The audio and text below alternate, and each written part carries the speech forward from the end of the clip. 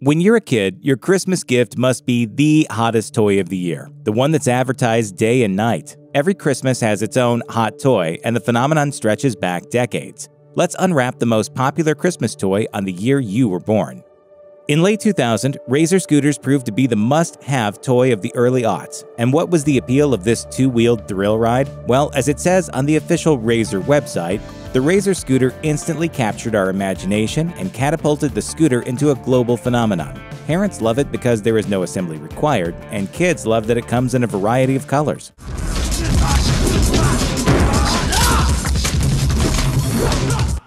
Razor scooters were brought to you by Razor USA, a company founded by Carlton Calvin, who already had some major experience in the toy biz. He also marketed faddish delights like fingerboards and the once ubiquitous milk caps game, Pogs. Calvin estimated that Razor sold 5 million scooters for Christmas in the year 2000. But since the company only held a 50% share of the scooter market, that means as many as 10 million kids wound up getting a scooter that year.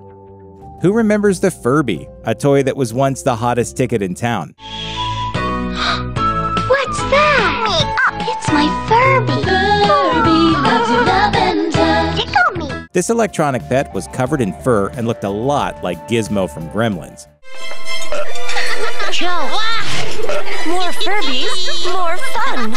The toy even came with a backstory. The creatures were supposed to be adorable aliens who were only fluent in their native language of Furbish. At first, they speak nothing but this seemingly nonsensical language, but as kids spend more time with them, the Furby starts to speak their language. Oh, me. Me, Amanda. Me, Mila. Me, May. That's Furby. Despite those huge bulbous eyes and all that fur, the toy originally retailed for only $35. But after the product launch in 1998, prices shot upwards of $100 in secondary markets. The demand was insane. By Christmas of 1998, Tiger Electronics had sold about 1.8 million Furbies, and the fad only got bigger and furrier from there. By the end of 1999, an astounding 27 million kids were teaching language skills to these little guys. A decade before every single person on the planet became addicted to their smartphones, American kids got an early taste of pocket tech thanks to Tamagotchi, an imported Japanese toy from Bandai. Slightly larger than a golf ball, this virtual pet required owners to tend to their every need and to regularly feed them with the push of a button. The $15 gadget was the must have hot new toy of 1997, and stores quickly sold out of this endlessly needy technology. What about this one? Okay, this one's misbehaving, so it needs to be disciplined. I'll handle this.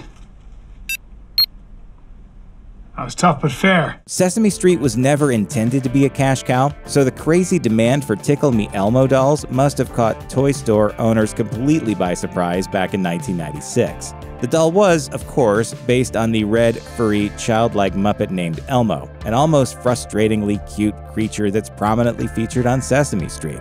Upon its release, Tyco Toys Tickle Me Elmo doll cost just under $30. Quite a reasonable price considering that the fuzzy, perpetually frazzled creation laughed and quaked upon receiving its titular tickle.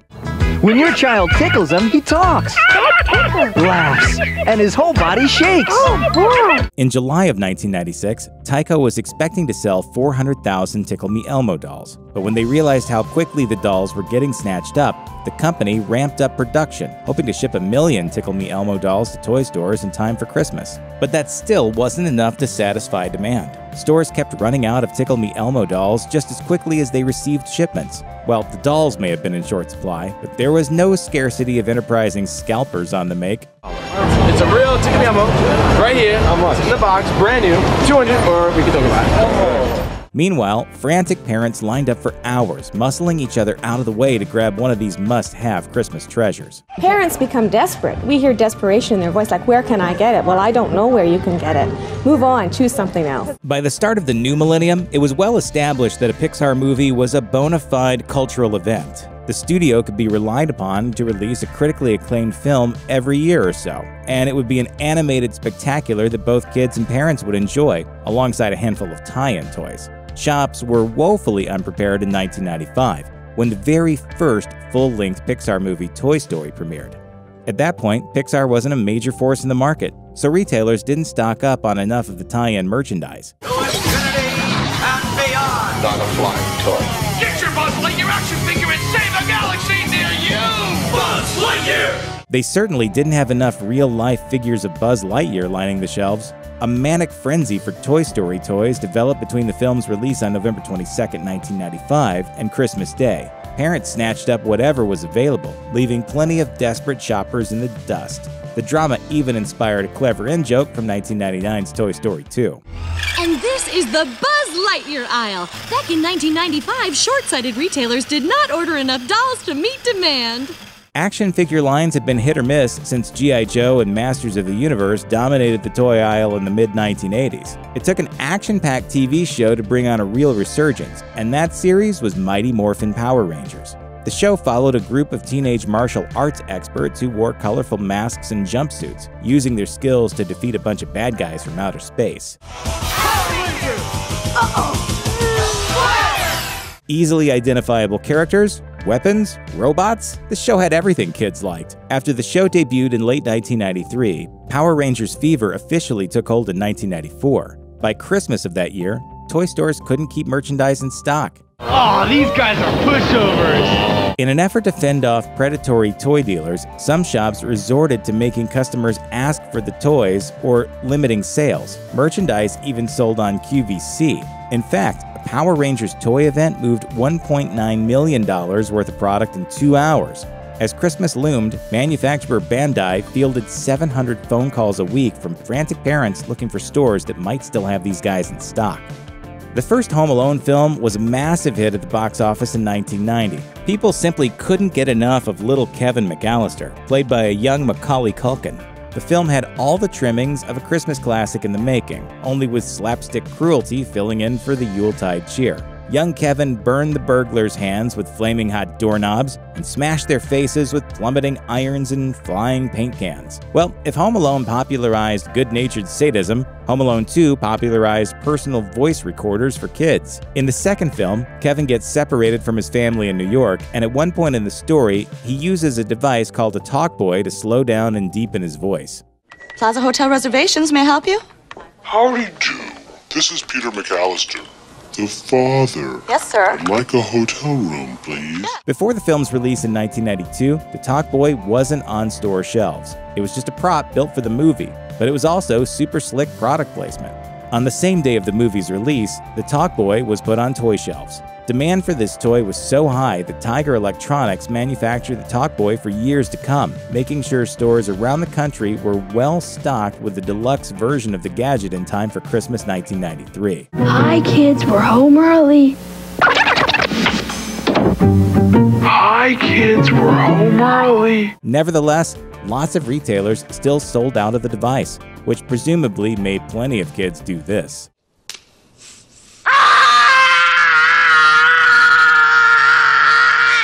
As the story goes, a Danish fisherman and woodworker named Thomas Dam invented troll dolls back in 1959 because he couldn't afford a store bought toy to give his daughter for her birthday.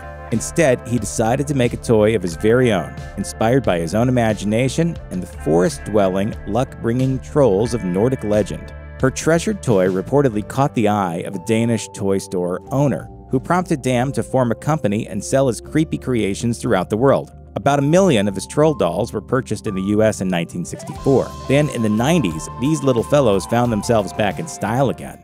Can't stop hugging the troll kid.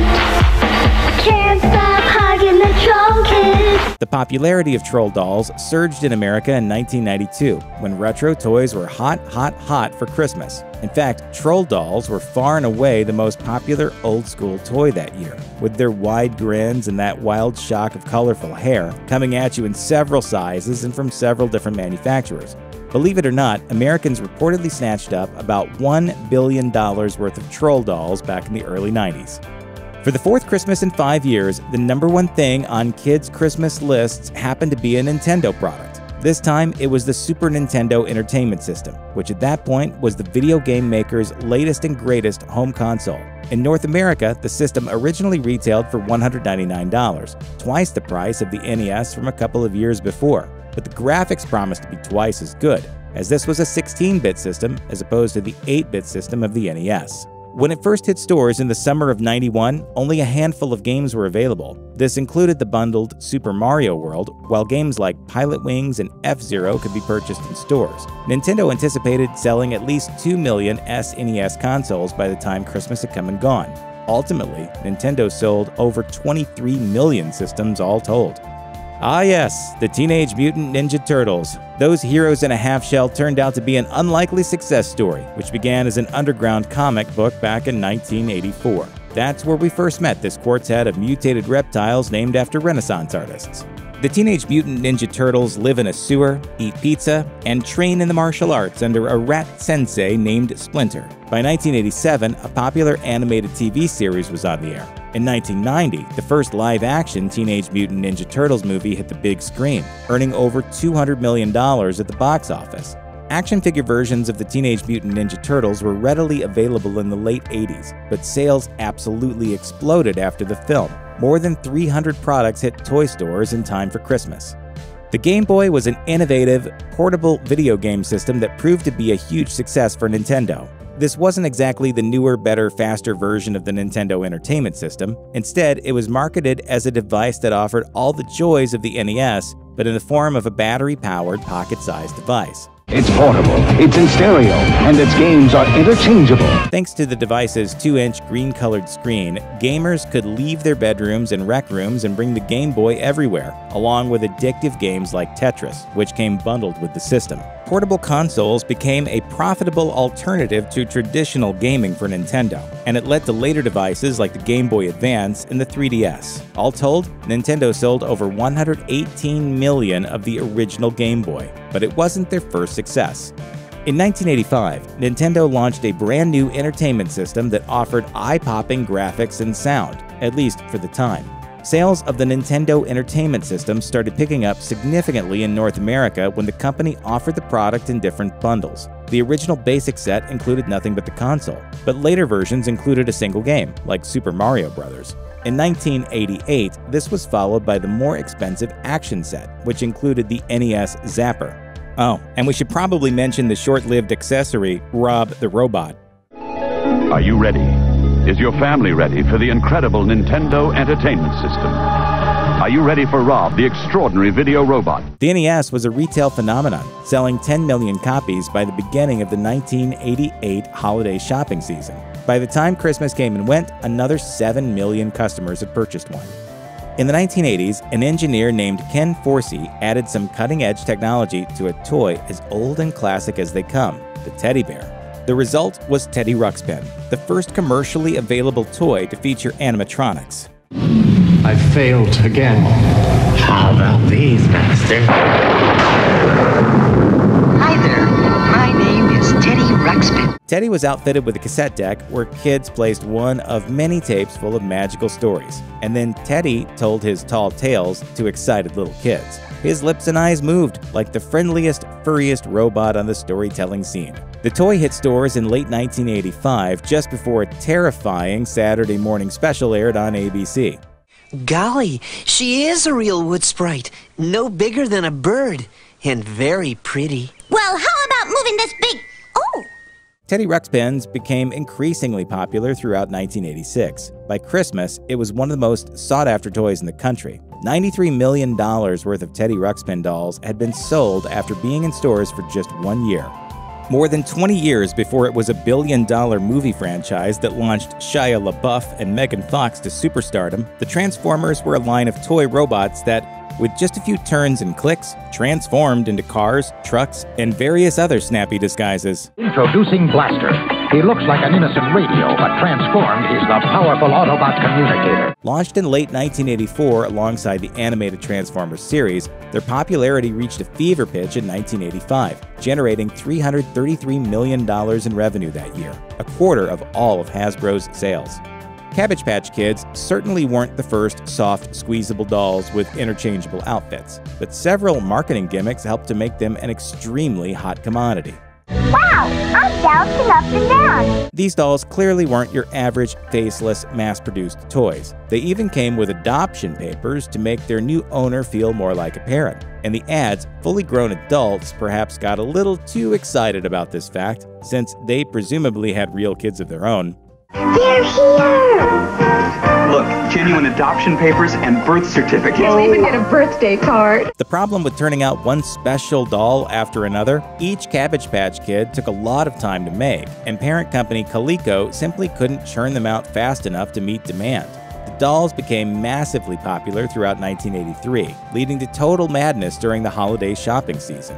Dolls sold for twice their label price. Parents attacked each other at toy stores, and other parents camped out in shop parking lots in order to meet incoming shipments. Where is she? Do you see her? Is that what Christmas is about? That's, I agree with you 100%. A full-grown woman taking a doll out of a child's hand? The fad certainly didn't subside in 1984, but Coleco managed to get ahead of the curve, increasing production well before the holiday season. But the dolls remained hard to get, with thousands of parents on waiting lists by Christmas 1984. Many of them didn't receive their dolls well into 1985. By then, distributor Coleco was enjoying sales of $776 million, and the vast majority of that money was thanks to Cabbage Patch Kids. The Rubik's Cube was perhaps the definitive fad of the 80s. Created by Hungarian architect and design teacher Erno Rubik, the hand sized block requires users to rotate the colored movable pieces of a cube until each side is the exact same color. Easier said than done, unless you're this guy.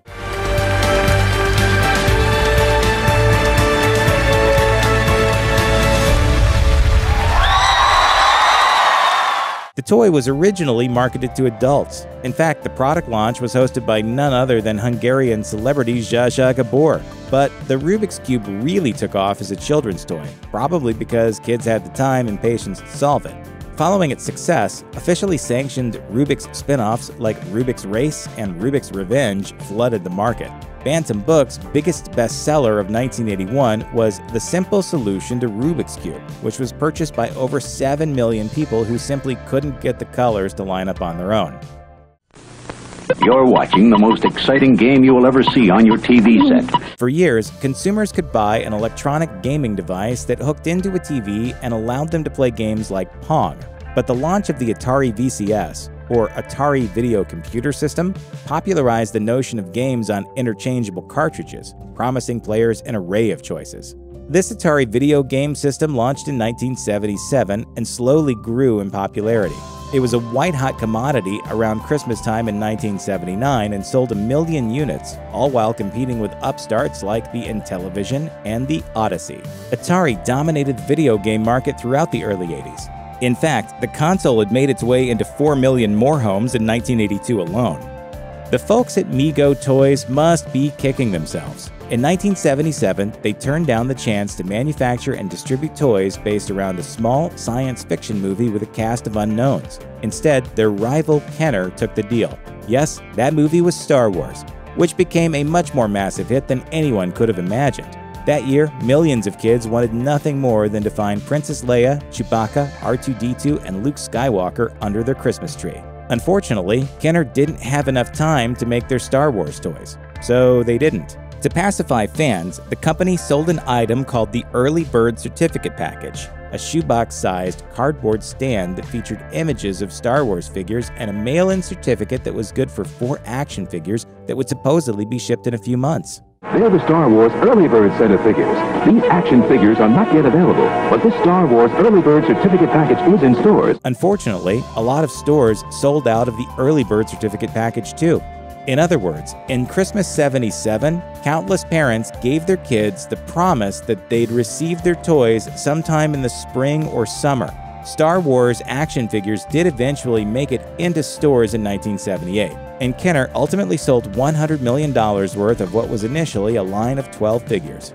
Kids can be a rambunctious bunch, particularly on Christmas morning. How many children were heartbroken after Santa's stop in because they immediately broke all their brand new toys?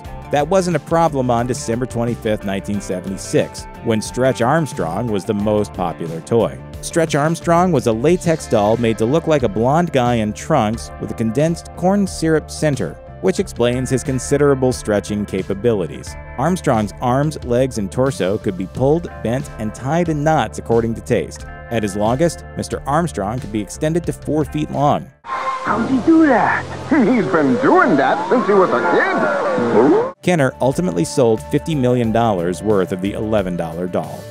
Now seen as the ultimate example of a dumb fad, the pet rock didn't really do anything. It was literally just a rock in a box. Advertising executive Gary Dahl took small stones from a Mexican beach and nestled them on beds of hay and tiny cardboard boxes that had holes cut out, presumably so that the rocks could breathe and enjoy a decent quality of life. The pet rocks sold well throughout 1975, making for an ideal Christmas gift that year. By the time the fad died out, approximately 1.5 million pet rocks had found their forever homes.